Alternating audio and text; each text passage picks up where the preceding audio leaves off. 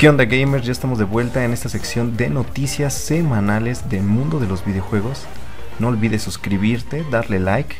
Recuerda que en este canal estamos subiendo gameplays, noticias destacadas del mundo de los videojuegos, además de novedades retrocompatibles y futuros estrenos para Xbox.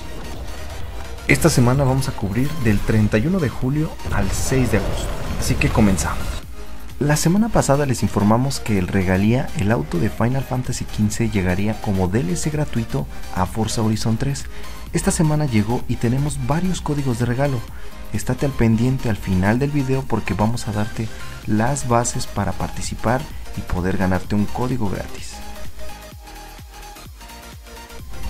Kara Sisa, quien trabajó en parte del desarrollo de la interfaz de usuario de Crash Bandicoot en Saint Trilogy, compartió esta semana un video desde su página web. En el video se puede mostrar claramente que la interfaz está desde el menú de Xbox. Eso nos hace confirmar los rumores de que ciertamente sí llegará a la plataforma de Xbox One y posiblemente sea un año después del estreno oficial en Sony que fue en diciembre, así que esperemos más noticias.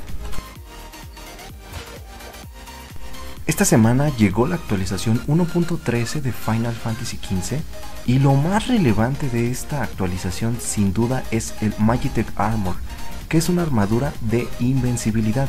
La puedes usar 30 minutos reales dentro del juego y no sufrirás ningún daño alguno. Aunque bien cabe mencionar que solo podrás usarla esos 30 minutos y para recargarla por completo tendrás que esperar casi un día completo. La semana pasada hablamos de la beta de multijugador de Final Fantasy XV. Aún no están los detalles confirmados, pero estaremos dando más noticias acerca del tema. La actualización de agosto de Gears of War 4 ya está disponible. No olvides checar todos los detalles en el último video que dejamos. Aquí está el link para que puedas accesar a él y no te pierdas todos esos detalles ya se dio a conocer el contenido de Valor Collection de Call of Duty World at War 2. Este pack simplemente va a contener el juego, una Steel Box de diseño exclusivo, pack descargable de Divisions, estatua exclusiva de los soldados hecha en bronce, emblemas de división para el juego, Infantry, Highborn, Mountain, Armored, Expeditionary un pin de Nazi Zombies Blood Raven y un póster de Nazi Zombies aproximadamente de 61 por 92 centímetros. Esta edición está únicamente disponible para preordenarse en Australia, así que próximamente llegará a las localidades de todo el mundo. Existe una edición alterna la cual incluye exactamente lo mismo, pero en ella incluye el pase de temporada del juego. Esta edición está disponible con el contenido del juego para Xbox One o PlayStation 4. Esta semana se dio a conocer un nuevo proyecto que fue All Controller, un control que no sería solo capaz de funcionar en Xbox 360 o Xbox One, sino en cualquiera de las plataformas móviles que existen hoy en día. El proyecto busca recaudar 75 mil dólares canadienses antes del 15 de septiembre. Si todo sale bien, se llevará a la venta mundial en abril del 2018. Gracias a su puerto USB 2.0 es compatible con PC, Macs, Linux, Android, iOS, Xbox 360, Xbox One, PlayStation 3, PlayStation 4 y posiblemente le darán soporte a Wii, Wii U y Nintendo Switch en un futuro. Electronic Arts Sports ha revelado más detalles de FIFA 18 la empresa se ha concentrado en los iconos de FIFA Ultimate Team, entre los cuales ya están confirmados Maradona, Pelé, Yashin y Ronaldo.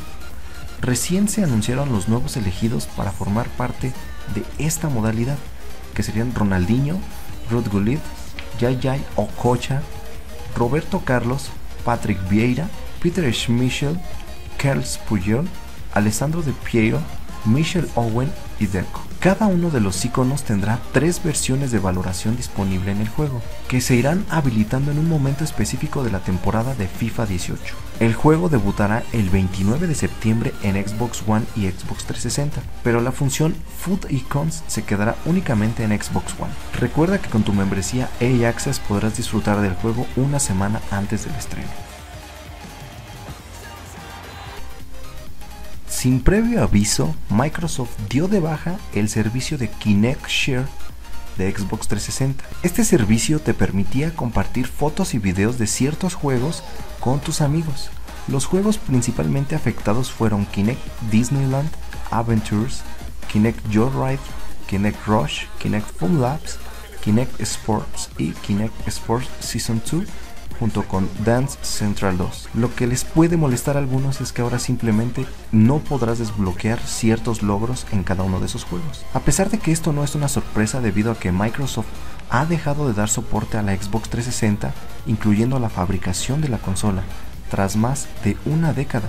A casi 12 años de su lanzamiento, servicios como la tienda online, Xbox Live, accesos a aplicaciones o servicios de todo tipo siguen funcionando perfectamente así que de momento el bazar de Xbox Live junto con muchas funcionalidades del online seguirán vigentes, así que podrás seguir jugando tranquilamente. La empresa japonesa ya cuenta con las licencias oficiales de la selección y Liga Argentina para PES 2018. Konami confirmó que al menos 28 equipos estarán totalmente licenciados con todas sus camisetas y totalidades de jugadores.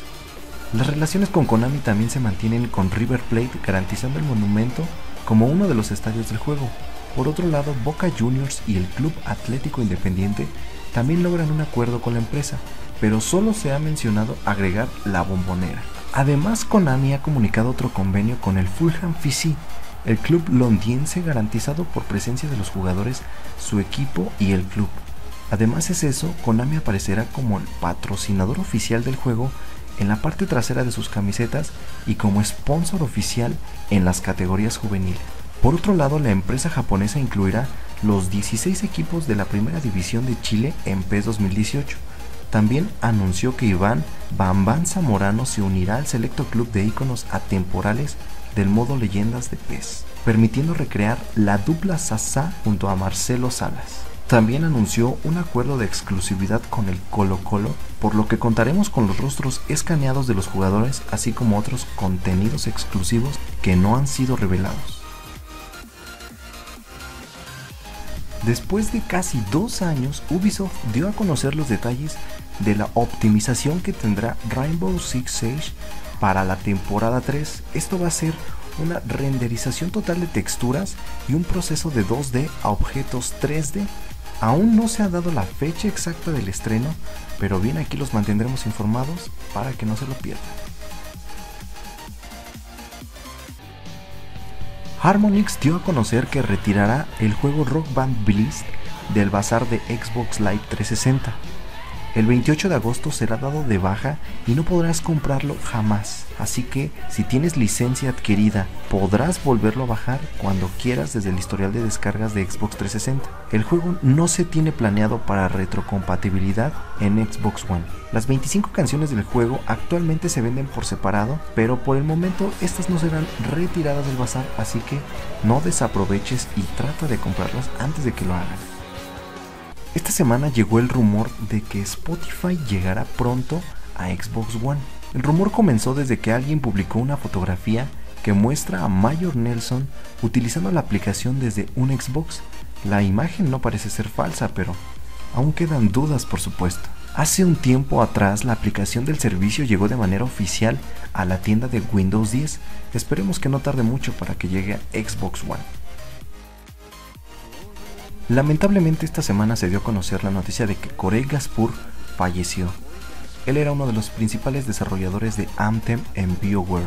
Gaspur tenía la importante labor de ser el principal diseñador de Anthem, el próximo juego de la ciencia ficción de BioWare. Gaspur ha trabajado durante muchos años en la desarrolladora canadiense en sagas como Dragon Age Origins y Mass Effect. Corey también fue un consultor para otros juegos de Electronic Arts como Star Wars Battlefront Mirror Edge Catalyst y Mass Effect Andromeda. También daba clases de diseños de videojuegos en Northern Alberta Institute of Technology.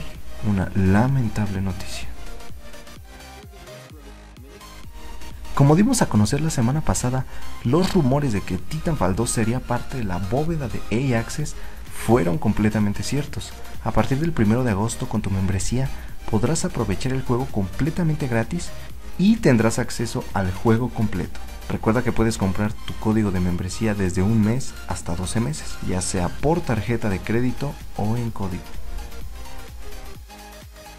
Para poderte ganar uno de los códigos del auto de Forza Horizon 3, el regalía, debes de ir directamente a nuestra página de Facebook y publicarnos yo quiero un código de regalía. Los primeros tres que publiquen se llevarán uno de los códigos gratis que tenemos para ustedes. Esto ha sido todo por ahora, no olviden suscribirse, síganos en nuestras redes sociales y estén al pendiente porque esta semana traeremos como especial todo el contenido del nuevo personaje Injustice, así que no se lo pierdan. Eso es todo y hasta pronto.